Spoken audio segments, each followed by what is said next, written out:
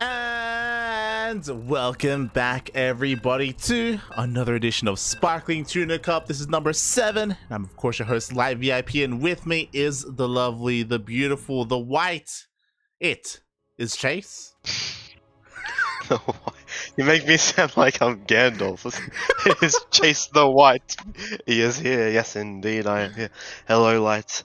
And we have a PVT to start. Oh yeah, welcome everyone to our weekly open tournament. Exclamation mark be in the chat if you want to have a look at the lovely brackets.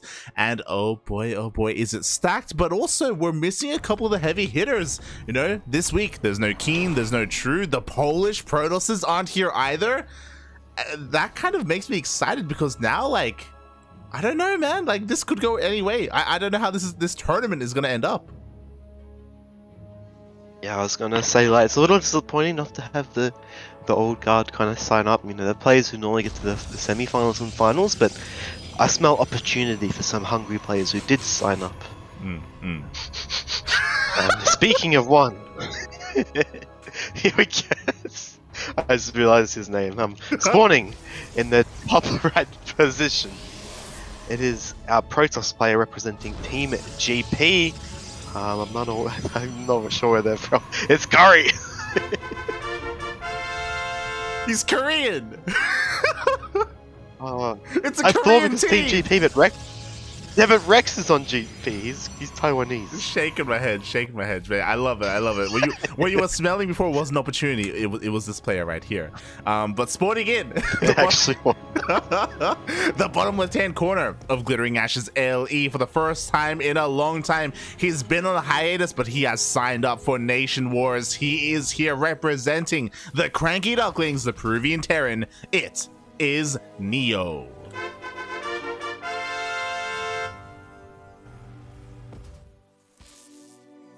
Oh. Oh my god.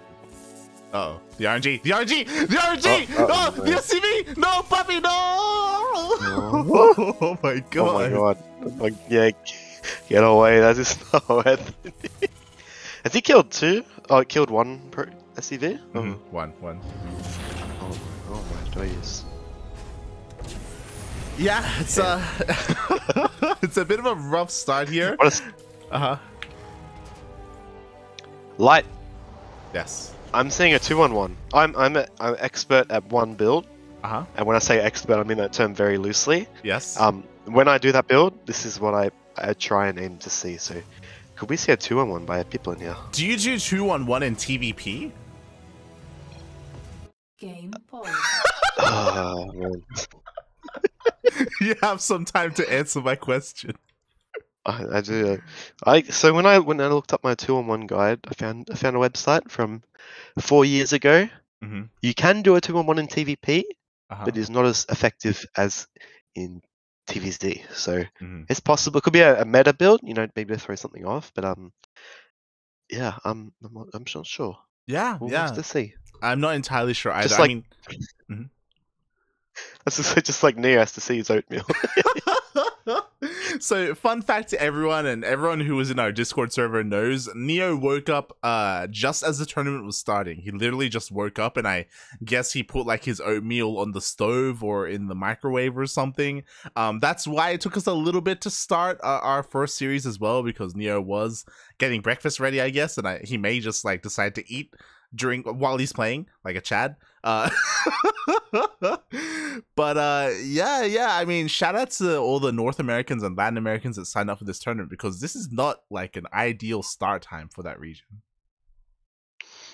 Yeah no this is it's kind of a feels a very special niche. I think um Cranky Ducklings, Light and Korea have filled out here. Um, this time zone it's not only available to Korean players, but um, mainly like the the SEA region. It's also quite sea friendly, mm-hmm. so it, it's it's it's great to see players who are a bit more international, who are hungry. You know, at the first thing we don't see a Kane, don't see a Bjorn. We see these players who are dedicated enough, and maybe if they can, you know, they can go deep in this bracket without these these heavy hitters at the top. So, mm-hmm. um, yeah. Yeah. But first, check the oatmeal. I mean, the last thing we want is the apartment to catch fire. You know, um, mm. that's not Uh, yeah, yeah. Uh, or, or you know, or burn your oatmeal. You know, you gotta, you gotta have a, a strong breakfast. that's the bigger thing. Yeah, yeah, exactly. Keep it safe. Keep it safe. Screw the kitchen, but the oatmeal though. oh god. But here we go. We're gonna get back into it. Curry. Piplin. I'm, I'm gonna call Neo Pippilin so much just because of his name, but I'll do my best. Oh my god, that's not even how No. you say it. It's Pipilin. Pipilin. Pip- Pip- what did I say? Pippilin. god, damn it. Oh my god. We had this problem last time with, with my my bogan It's like Pippin. pronunciation. It's like things. Pi- it's like you know Lord of the Rings. You know, like you know, right? Pippin. You've seen that. You've seen. But there's a, there's an I and a L in the way. It's not Pippin. exactly. So you just you gotta sneak it in. there. It's pilly pilly. Okay, take it or leave it. But um, right. Actually, this is looking like it may be a Medivac drop of some sort. Do you reckon? Mhm. Yeah, I think so. There's a couple of important things that have happened this game that we didn't really get to touch on. One, Curry, of course, was being very annoying across the map with his initial probe. Um, he did kind of force a really awkward response, and now Neo is basically one basing it up. And now he also revealed all of these Marines, so he's kind of showing his hand a little bit here. Um, again, obviously, Curry hasn't seen the main base, but you know, seeing all these Marines is, is a bit of a tell. Yeah, it is, especially when you're on one base. It, it can be when you see that um, the reactor on the barracks. So Hmm. um, oh, so that hopefully going to get away. But I, I don't really want Pip. Pip. Oh no, I'm gonna. I'm just gonna say no. I don't want Neo. This is a bit risky when you're going for a one base kind of timing. You want all the firepower you can get. Hmm. So um, yeah, just gonna maybe hold the ramp, which makes sense. Maybe disallow that scouting information. But he actually placed his factory and um extra barracks out of vision. So Yes. but this is a good shade by Stephen Curry. It is a really good shade. Again, he's just confirming whether or not there is a natural base. Also, looking at the vision of Stephen Curry, he does spot the tech lab, doesn't see much else. Um, so like there is a world where maybe there is a CC on the high ground, but I feel like he, for the most part, has ruled that out. And he's also doing something a little bit wild as well. He has teched up all the way to a dark shrine. Yeah, this is quite an intelligent kind of um response here because we know when you're on just one base, you've only got one base worth of scans, and you're going to be fully focused on getting as much attacking firepower as possible. So Oh, I really like this DT push here. yeah, I love it as well. But there's a Viking coming across the map, and it's actually going to cross swords with the warp prism. Please, oh, he finds it. Oh. Nothing shoots He up. does indeed find it. Is that and the DT actually going to work on the Marines here? How many scans do we have? We've got it's like one at the moment, 40 energy Oh. for a second. This is looking a bit scary for Neo. Yeah, it really is. He needs to like just just gather that energy as best he can. But the problem is he's only working off of one orbital right now, and there are just DTs all over the place. Marines are falling left and right. That warp prism is being cleaned up, but again, these DTs are being so annoying. Yeah, no, especially, and this is slowing down this push so much. And every time he uses a scan, he just warp in another DT. He's got two DTs at his own home, and he's got one coming to the main as well. Is he gonna get the wall off Neo? He's got a lot going on. Can he cope? Oh my god! Well, that's No. no, he he can't cope. GG gets caught. I love the all in that he was going for. It was great that he caught the warp prism, but he just wasn't ready for the one thing, and that was DTs, man. DTs.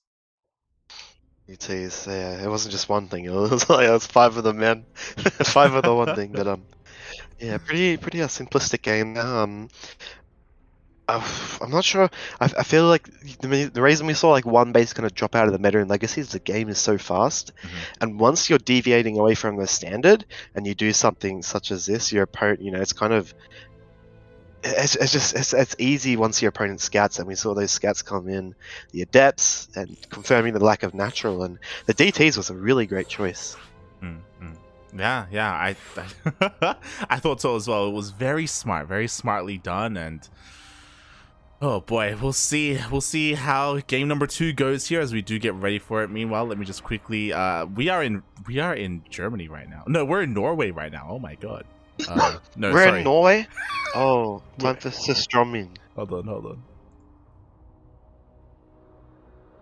Oh, as we quickly, ah, there we go. As we quickly hop over the servers, we are now in the land of Australia, ah, and we are ready for game two. We are in. Oh, whoops! I, I took like I found in the wrong chat. There we go. Um, yeah, no, this is a little bit of little bit of a delay between. We're out of sync, light. You know, we're not we're not the Archons that we normally are. We're not. We're not. We couldn't talk about Twilight at, at this rate, but um, we're back on back on track, and um, Berlingrad is map two. True. You do need. Well, I mean, you do need a Twilight Council if you want to make icons. Is this our Twilight Council? Does Norway not support the infrastructure for Twilight? I don't know, man. But either way, we are back, here we go, spawning in that top left position. It is going to be your Korean Protoss player from Team GP. It is the one, the only, Stephen Curry.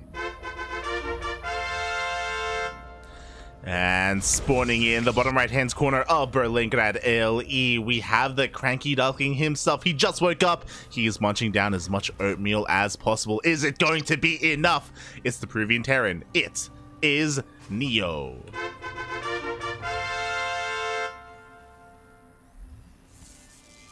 Oh, not again. Like, is that an early scout, or is he just is he going to be doing something a little more devious? He's just happy to see him.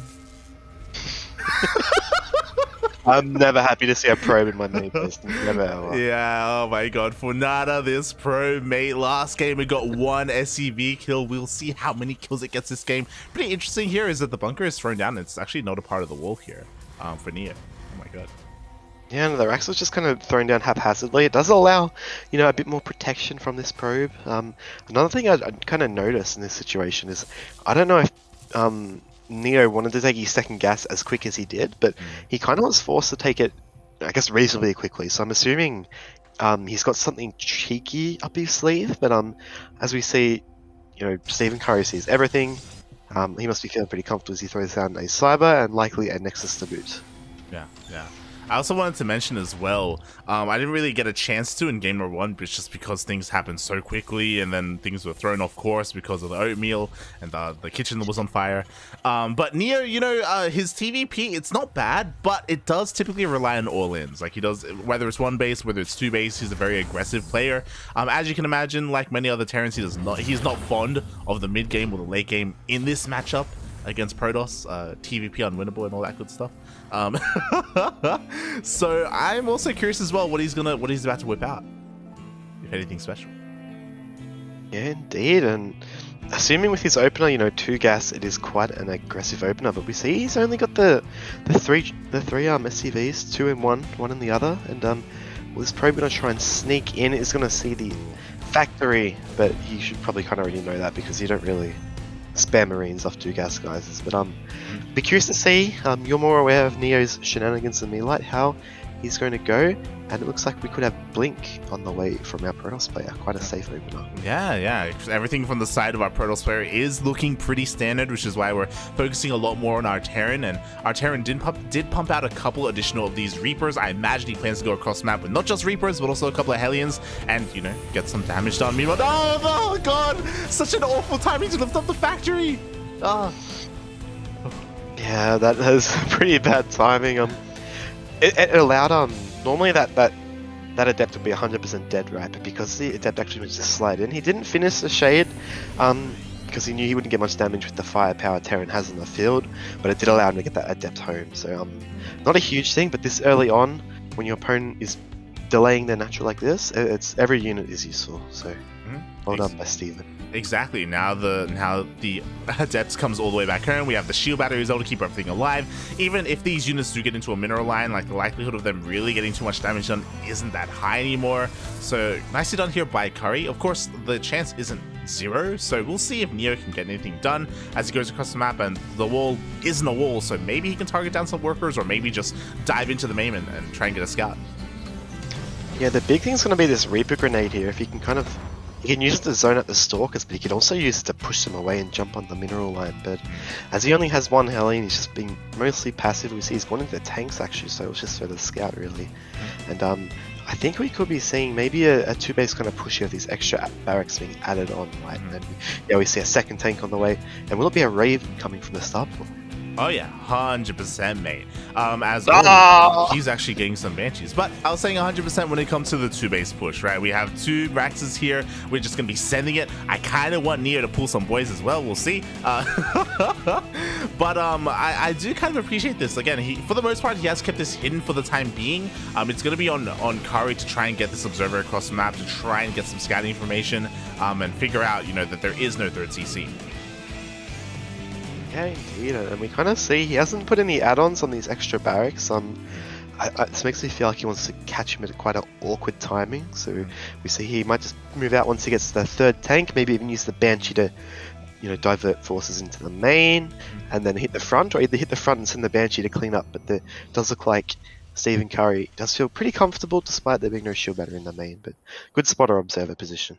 Mm, yeah, yeah, it's great. It's beautiful. It's out here ready and waiting for any kind of, you know, Raven or Banshee or drop to come into the main base. But here we go. Neo is ready to push out. Um, as you said, it is kind of an awkward timing. He's pulling only a handful of boys. As a reminder to everyone, this is a push without stim, without combat shields, without anything. And oh, it gets scouted by the observer.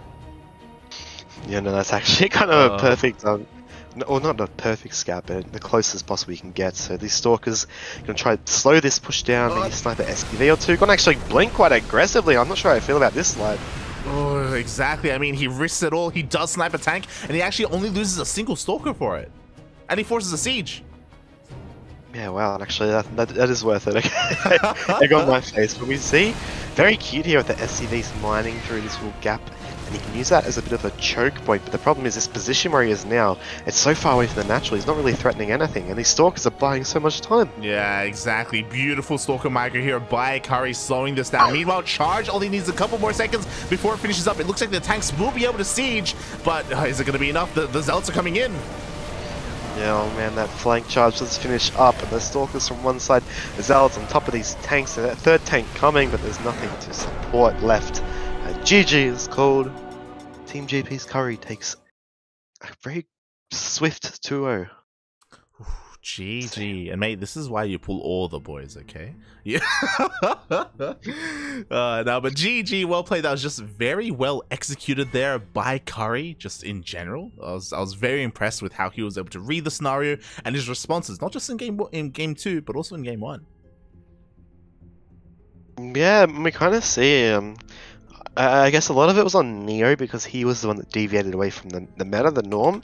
Mhm. Um, but it, it felt like he. It, I'm not sure. It didn't really feel like um, Curry was very affected, but he just played his standard, you know, sta- standard safe opener, and he just got a good scout in game number two as well. But um, I'm not sure if Neo could have hit a little bit faster with his timings, but it just felt like they didn't really have the firepower um, to kind of catch Curry off guard. Yeah, yeah. Like I, I can understand a lot of the rationale behind it, you know, like you do get across time pretty quickly. Like it was really cute. You pointed out yourself, like the SCVs were there to mine out the minerals so you can get into the natural faster. But a lot of it did also come down to the fact that Curry saw the army coming out, so he was able to slow it down so heavily. Obviously, if that didn't happen, then we could be looking at a very different game. But um, alas, Curry did scout it. Uh, so, oh, Yeah, indeed. feels. But not to take anything from Neo though, because Curry is very, you know, Team GP is, is one of the, the top teams for a reason. He's a very good player. So um, um, unfortunate for Neo, but I'm also kind of curious to see how deep in Curry can actually get. So um, we'll have to keep an eye on him as we move through this bracket light. Oh yeah, and speaking of the bracket, I want to direct everyone's attention to it. Exclamation mark be in the chat if you want to have a look at the bracket yourselves, because my oh my, this jack this jacket what this bracket is looking quite juicy, mate. Oh my god, we already see a lot of players advancing to the second round.